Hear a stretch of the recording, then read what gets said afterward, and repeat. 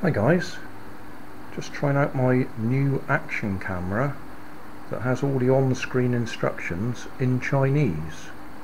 So I've just had to take a picture of the screen and then use a translator which told me there was no card detected, please insert TF card. Uh, it was in there, I just took it out and pushed it back in again and it seems okay now. And what I wanted to film was this. If you saw my video where I use this, it's a cable car.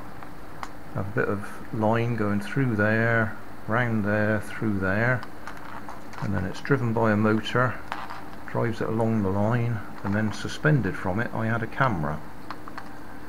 Uh, one of my action cameras and Larry Bees suggested I should try using my Samsung phone instead of the action camera.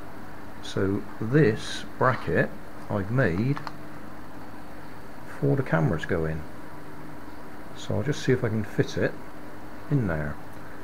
I'll put the action camera down. I don't have a tripod mount for it at the moment. I don't know what I've done with it so we'll just have to rest it on the table.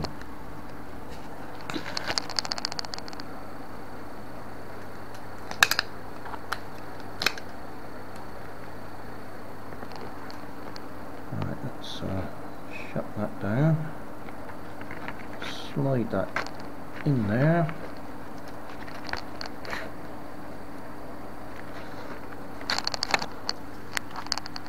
And there we are, suspended.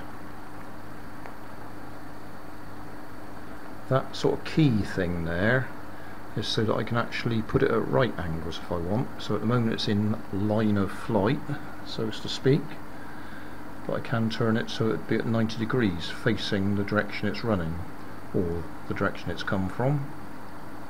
So we might give that a try but the first thing I'm going to do is go and download the video that I've just shot with this camera and see if it's any good. Thanks for watching if you want more information, check down below in the video description. If you like this video, you might like this one up here. And if you want to subscribe, you can check out my channel over here. Up here is my latest video on my channel, and down here is a video playlist associated with the video you've just watched. Thanks again for watching.